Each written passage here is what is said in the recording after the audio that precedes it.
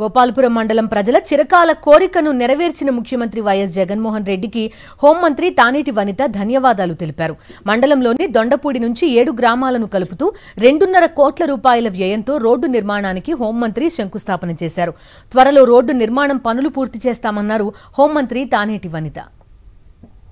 కొద్ది రోజులుగా డ్యామేజ్ అయిపోయి ఉండడంతో ఈ రోజున మన గౌరవ ముఖ్యమంత్రి వర్యులు జగన్మోహన్ రెడ్డి గారు ఇక్కడికి ఈ రోడ్డు వేయడానికి శాంక్షన్స్ ఇవ్వడం జరిగింది. రెండున్నర కోట్లు ఇక్కడ ఇవ్వడం జరిగింది. మరి ఆ నిధులతో ఈ రోజున ఈ రోడ్డుకి శంకుస్థాపన చేయడం జరిగింది.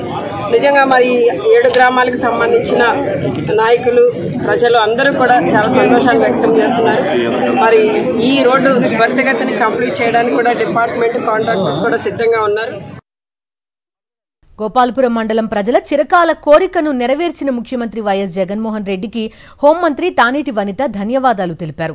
మండలంలోని దొండపూడి నుంచి ఏడు గ్రామాలను కలుపుతూ రెండున్నర కోట్ల రూపాయల వ్యయంతో రోడ్డు నిర్మాణానికి హోంమంత్రి శంకుస్థాపన చేశారు.